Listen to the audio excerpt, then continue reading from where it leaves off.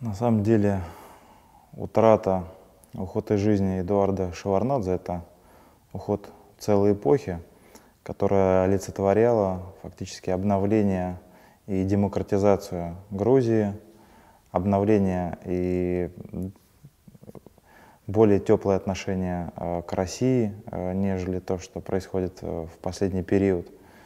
И, конечно, его уход — это уход той фигуры, той величины, которая могла бы каким-то образом уравновешивать ту тенденцию, которая сейчас идет по ухудшению взаимоотношений наших двух стран.